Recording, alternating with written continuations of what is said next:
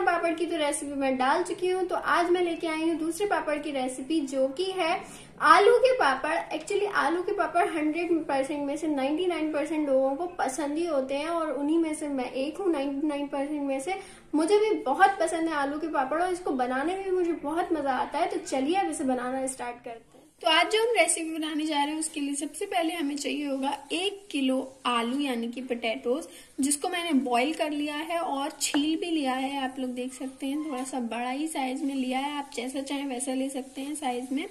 और अब हमें अपने आलूओं को ग्रेट करना है इसीलिए मैंने यहाँ पे एक ग्रेटर ले लिया और नीचे एक बड़ा बर्तन ले लिया क्योंकि आलू की क्वांटिटी कुछ ज़्यादा ही है।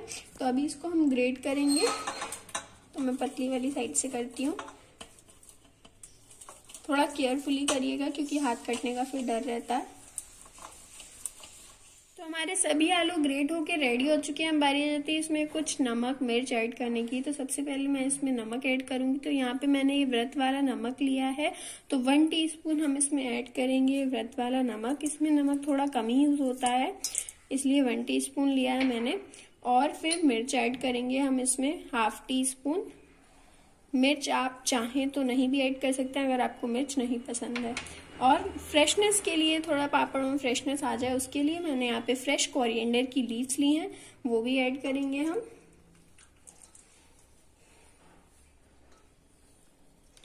और अभी इसको मिक्स करना है तो मिक्स करने से पहले हम अपने हाथों को ग्रीस करेंगे ऑयल से देन मिक्स करेंगे, क्योंकि आलू बॉयल है तो वो हाथों में चिपके तो लीजिए, मैंने अपने हैंड्स को ग्रीस कर लिया है, और अब इन आलूओं को मिक्स करेंगे हम। अच्छे से मिक्स करना है, और मिक्स करते समय हम थोड़ा सा मैश भी कर लेंगे।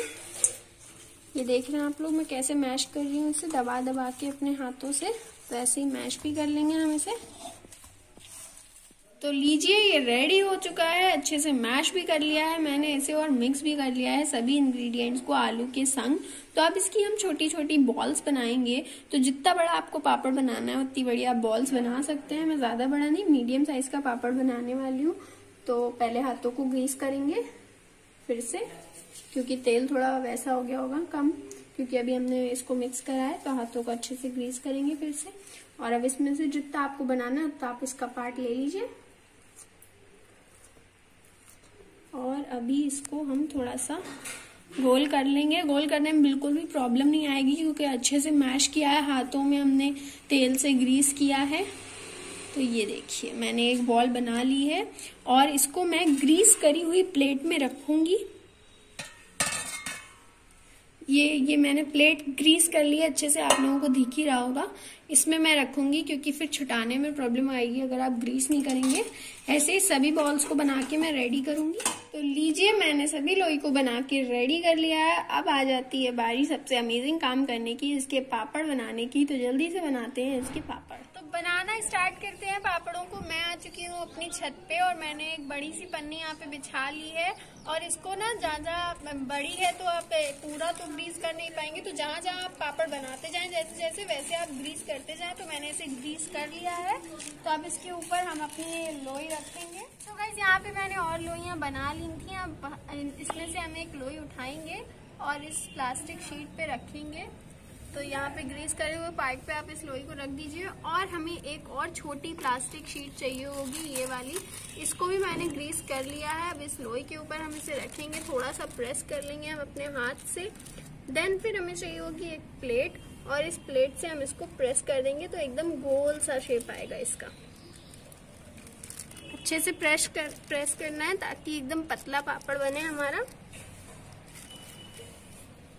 अब इसको हम एक समान करने के लिए थोड़ा सा उंगली से हम इसको फैला देंगे। तो फैलाना थोड़ा केयरफुली है। अच्छे से फैलाएँगे और इस बात का ध्यान रखिएगा कि शेप ना बिगड़ जाए। थोड़ा आराम से ही फैलाएँ। तो मैंने इसे अच्छे से फैला लिया है और ये देख सकते हैं साइज़ थोड़ा सा बड़ा हो गया है, सब तरफ़ से एक समान है और अब इसे हम छुटाएँगे। तो पन्नी ग्रीस थी आराम से छुटेगा इसलिए। ये देखिए बहुत ही आराम से छुट गया और हमारा एकदम परफेक्ट पापड़ बन के रेडी है। ऐसे ही मैं और बनाती हूँ। तो ये लीजिए हमारे सभी पापड़ बन के रेडी हो चुके हैं। एकदम गोल गोल, एकदम परफेक्ट हमारे पापड़ हैं। बने हैं, बहुत ही अच्छे से बने हैं। अब इसको हमें सुखाना है।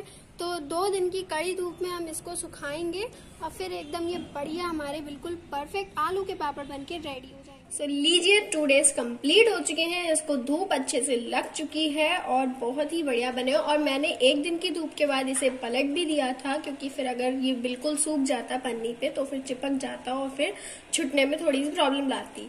लेकिन अगर आप उस पर तेल लगाएँगे, जैसे मैंने आपको पैटर्न बताया है तो ये बिल्कुल भी आपको प्रॉब्लम नहीं आएगी छुटाने में। तो अभी मैं बताती हूँ, ये कितने क्रिस्पी बने हैं, बहुत ही ज़्यादा अच्छे भी हैं ये। एकदम क्रिस्पी वाला इसका टेक्सचर आया, ये देखिए, आपको आवाज़ सुनाई पड़ रही होगी, एकदम पतले, बहुत ही बढ़िया पापड़ हमारे बन के रेडी हुए हैं। अभी मैं इसको फ्राई करके आपको बताती हूँ। मैं आ चुकी हूँ गैस की तरफ़ और गैस के ऊपर मैंने कढ़ाई में कुकिंग ऑयल डाल लिया जो भी आप ऑयल यूज़ करते हो। और इसको मैंने थोड़ा सा ही हीट किया है, क्योंकि आलू के पापड़ जो होते हैं वो पतले होते हैं तो वो बहुत जल्दी जल जाते हैं। तो आप बहुत हीट मत करिएगा, एकदम बहुत स्मोक वाला थोड़ा सा हीट करिएगा, और फिर आप इसमें एक एक करके आलू के पापड़ डालिएगा। तो एक एक करके हम इसमें आलू के पापड़ डालेंगे, और इसको थोड़ा सा प्रेस करते हुए इस चिमटे से हम इसको फ्राई कर लेंगे। तो जैसे ही ये एकदम वाइट कलर में हो जाए तो आप इसे निकाल लीजिए, और ऐसे ही दूसरा डालिए और फ्राई कर लीजिए। थोड़ा सा इसको राउंड राउंड जब आप करेंगे चिमटे से तो ये थोड़ा अच्छा फ्राई हो जाएगा सब तरफ़ से। ये लीजिए हमारे आलू के पापड़ फ्राई होके रेडी हैं, दिखने में एकदम टैम्पटिंग और खाने में एकदम क्रिस्पी हमारे आलू के पापड़ बने हैं। और आप देख रहे होंगे हमारा एक एक पापड़ एकदम साबुत है, एकदम गोल शेप में है। और इसका कलर भी कोई चेंज नहीं हुआ है, जैसे नॉर्मल कलर क्या होता है कभी कभार जब हम आलू के पापड़ फ्राई करते हैं तो उसका कलर रेड पड़ जाता है। लेकिन जो मैंने आपको तरीका बताया, अगर आप उससे बनाएँगे ना तो आपके आलू के पापड़ एकदम परफेक्ट बिना रेड के बनेंगे बहुत ही अच्छे। और मैं बताती हूँ आपको एक अमेजिंग बात। आप इसको बिना फ्राई करे, जो हमारे सूखे पापड़ होते हैं, उसे आप एक साल के लिए एयर टाइट कंटेनर में रख सकते हैं और उसका आराम से मज़ा उठा सकते हैं एकदम क्रिस्पी आलू के पापड़ का। तो आप लोगों ने वीडियो में देख ही लिया होगा, मैंने कितने मज़े से ये आलू के पापड़ बनाए हैं। तो अगर वीडियो पसंद आई हो तो वीडियो को लाइक करना मत भूलिएगा और कमेंट बॉक्स में बताइएगा, आप लोगों को मज़ा आया या नहीं इन आलू के पापड़ों को बनाने में। और नीचे जाके चैनल को सब्सक्राइब करना तो बिल्कुल मत भूलिएगा और सेम बेलगन को भी प्रेस करिएगा, जिससे कि मेरे आने वाली वीडियोस के नोटिफिकेशन आपके पास जल्दी जल्दी आ सके। तो मिलती हूँ अपनी अगली वीडियो के संग। तब तक के लिए tata bye bye thanks for watching